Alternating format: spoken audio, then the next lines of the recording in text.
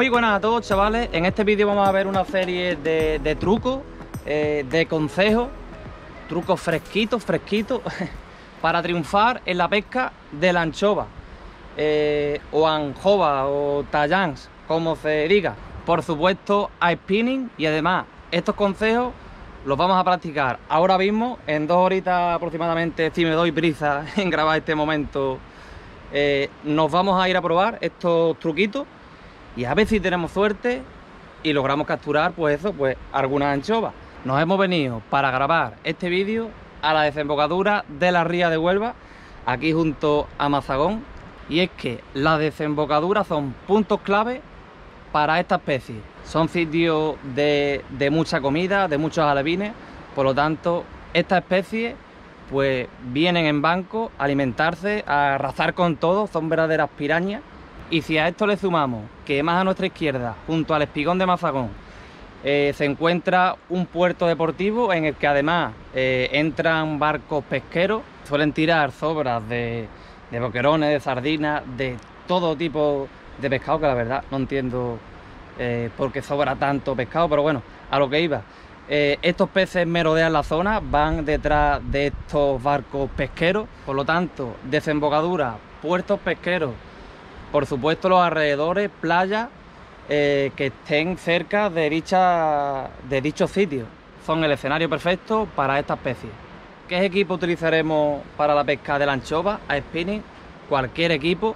Por ejemplo, yo me he traído para pescar aquí desde orilla, si hemos dicho, eh, si nos da tiempo, hemos traído la hipnotice junto con un carretito tamaño 2500 un hilo para pescar desde orilla que no sea lógicamente muy grueso, en este caso un 0,16 y el fluorocarbono sí que es importante, bueno, en realidad yo le tengo puesto un 0,31 no, es que la anchova te corta el hilo la anchova te va a cortar el hilo, ya tenga un 0,31, un 0,40 o un 0,50 como no le tenga un cable acerado y te muerda el hilo, te lo va a cortar. Y lógicamente un cable acerado para pescar eh, con señuelo no se lo vamos a poner. Lógicamente también según el tamaño de las anchovas que hayan en, vuestro lugar. Aquí en Huelva el tamaño medio ponle de 500 gramos a los 2 kilos y medio aproximadamente.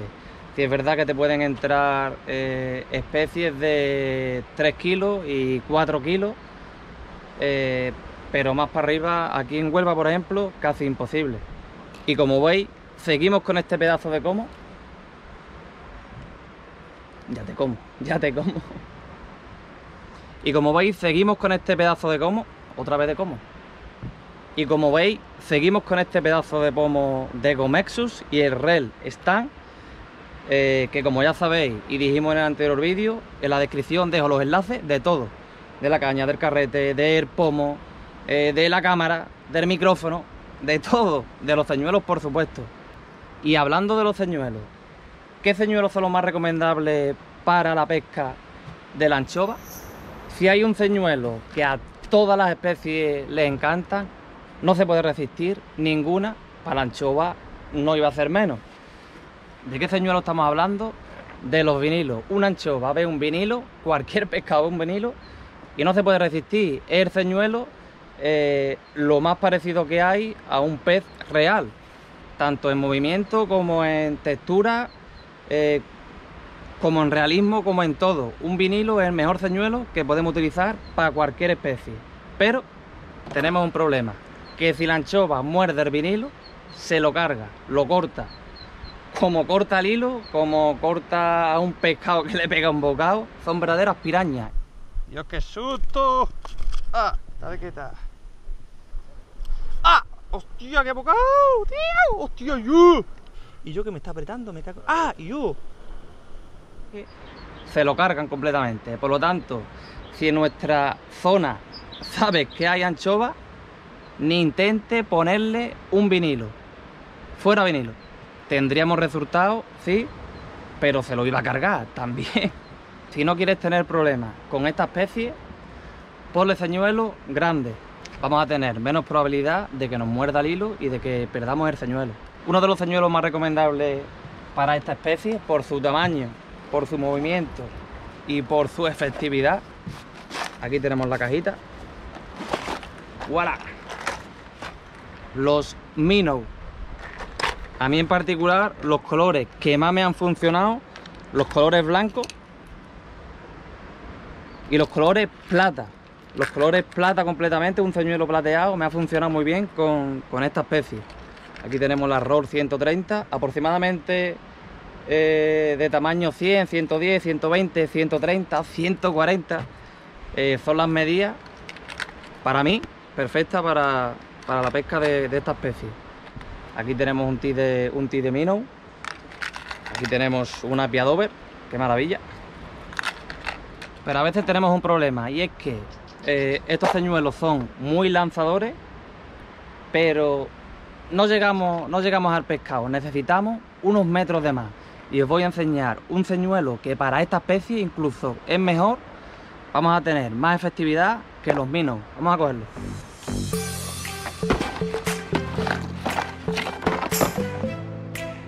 Y son, a ver, los tenemos,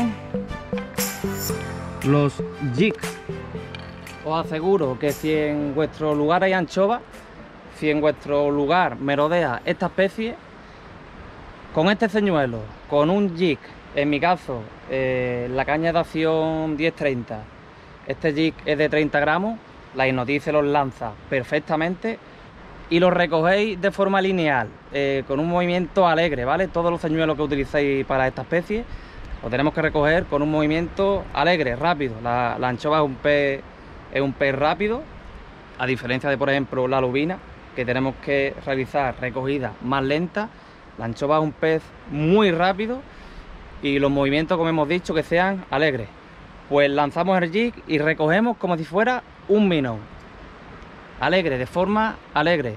Eh, lineal, como hemos dicho, vais a tener unos resultados brutales. Mejor que si le ponemos un minnow, tal como cae al agua si lo dejamos dos segundos llega al fondo y conforme vayamos recogiendo pues el señuelo va, subiendo, por lo tanto pescamos en todas las capas del agua y, es muy efectivo. El inconveniente, el único inconveniente que tiene es que al ser muy pequeño o más pequeño que por ejemplo los minos, pues tenemos más probabilidad de que, de que este pez nos muerda el hilo y acabemos perdiendo el señuelo. He ido como un señuelo y mira la que forma. Por supuesto, no nos podemos olvidar de los paseantes de superficie. Cuanto, cuando estos peces comen arriba del agua, es un espectáculo. La verdad que no hay picada eh, que se disfrute más que una picada en superficie, que un ataque en superficie.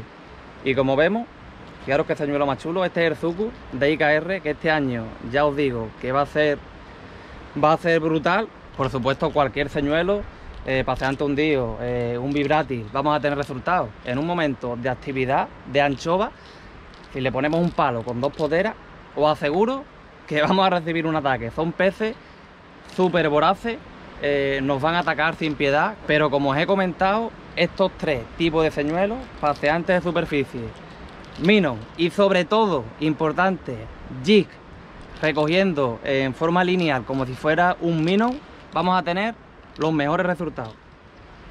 Nos quedan, como hemos dicho, ya una horita y media de sol. Dos horas, una horita y media. Eh, vamos a pegar unos lances. Ah, importante. El mejor momento del día para capturar esta especie. Eh, amaneceres, pero por supuesto atardeceres. Incluso cuando el sol se esconde por completo, que ya no se ve nada, esos son los mejores momentos para capturar la anchova nos hemos venido, como hemos dicho, a un escenario que no he venido nunca, me parecería un poco injusto. Madre mía, injusto. De, irnos a nuestro pesquero que más frecuentamos, porque allí sabemos dónde buscar esta especie y vamos a poner en práctica eh, estos truquillos. Vámonos al lío.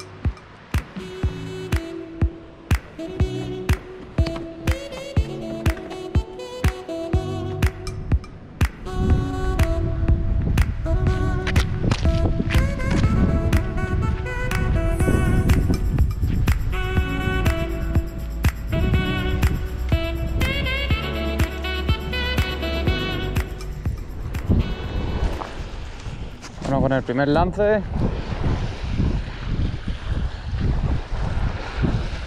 Menos dos horitas de sol. Vamos, que tenemos dos horas para intentar de coger algún pescado. Venimos buscando más que nada si nos pica alguna anchoa a la caída de la tarde. La verdad que es la primera vez que vengo aquí a este lado. Pero bueno. Hay allí más a la derecha dos pescando a fondo. Más a la izquierda también. Hay gente pescando a. Pero de engaño nadie. Aquí ni nadie.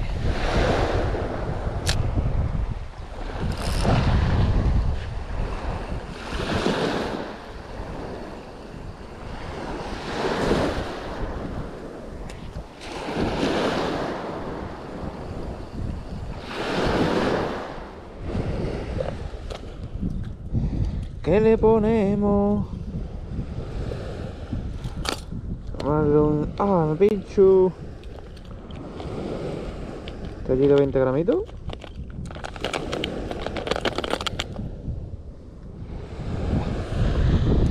Poner esta jensen de 20 gramos. La vamos a recoger como como un mino. A ver si logramos una picada de anchoa.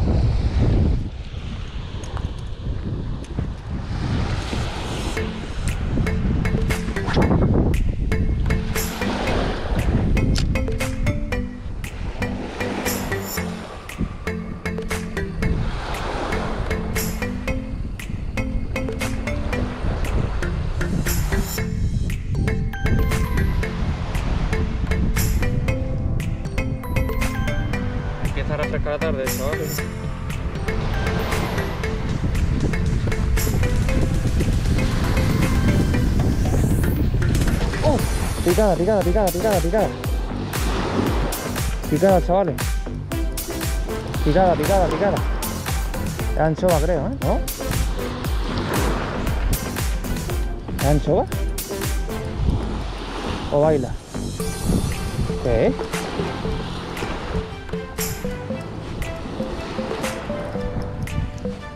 ¿Qué? No tengo ni idea, ¿eh? No me tira como una anchoa, tío.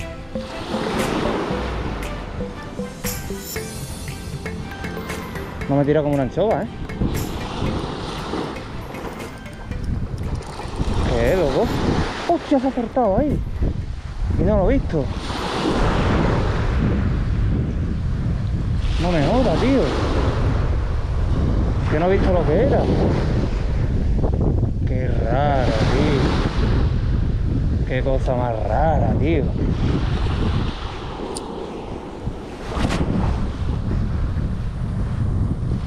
No, tío, eso es lo que me fastidia más, tío. No sabe lo que era, tío. Joder. Uf, Una baila descartada, una lacha descartada. Es que he ahí, tío, me, me pareció una dorada, tío, pero una dorada, colega. Y una anchova, es que no me ha tirado mucho para una anchova.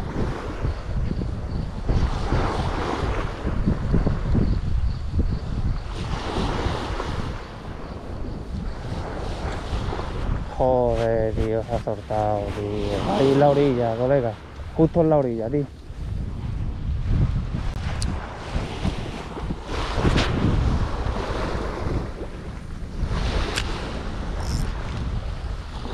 Quiero que vea lo que es, ¿eh?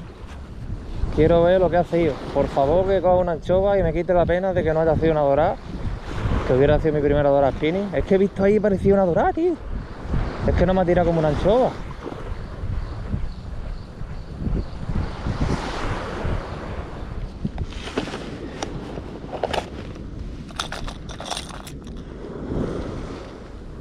Cambiarlo el de 20 por uno de 30. Pero más que por el peso lo cambio por el color. Este parece que es un poco más llamativo. Está cayendo ya la tarde. Por lo tanto lo va a haber pescado mejor. Queremos sacar lo que hemos perdido ahí.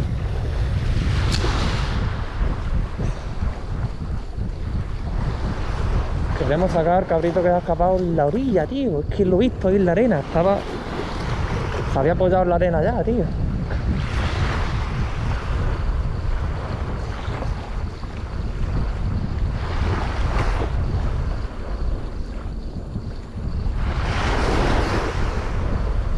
suerte ellos.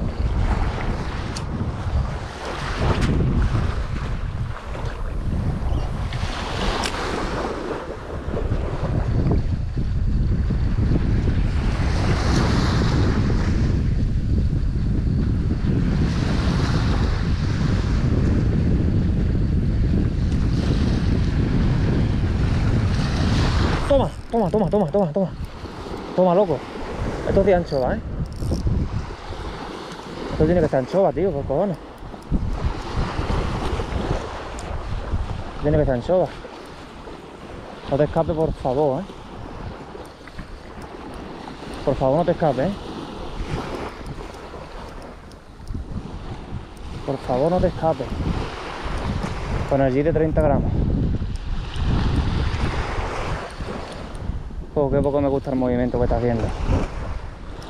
Qué poco me gusta.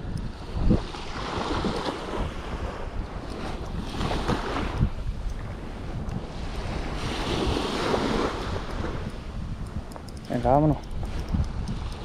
Vámonos para Soli.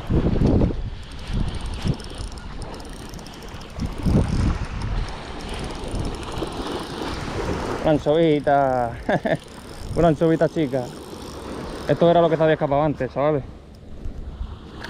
Esto era lo que se había escapado antes. Fíjate cómo viene.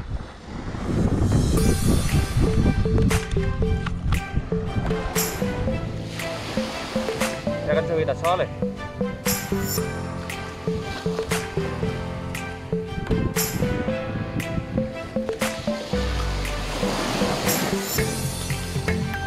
Ahí va, canalla.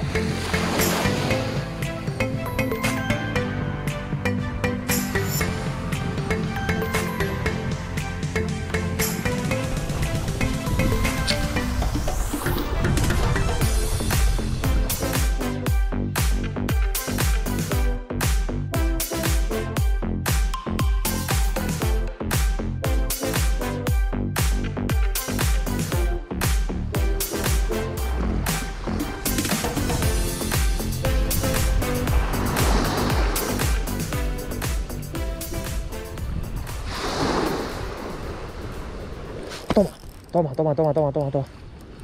Toma, toma, toma. Que no se ve nada.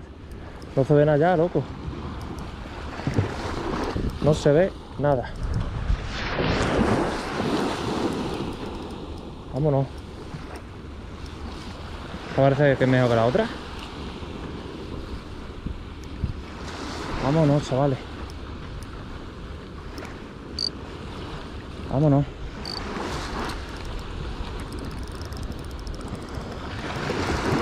Me pongo mirando para acá por lo menos para que se vea algo, ¿sabes? Que yo no te dice ver a la cámara. No te dice ver algo en la cámara, porque la GoPro con la oscuridad no se ve ni una lesión. Uh, sí, anchoa. Está mejor que la otra, ¿eh? Uh, está mejor que la otra, loco.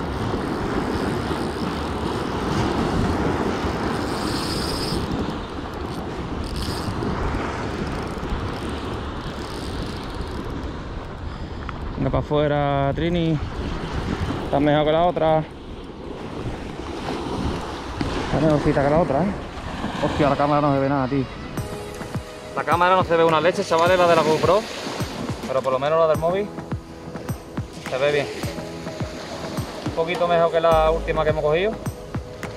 Y ya tenemos. Vamos, agüita. Vámonos ahí, campeona. Venga, coge agua. Ahí va. Ahí te va, canalla.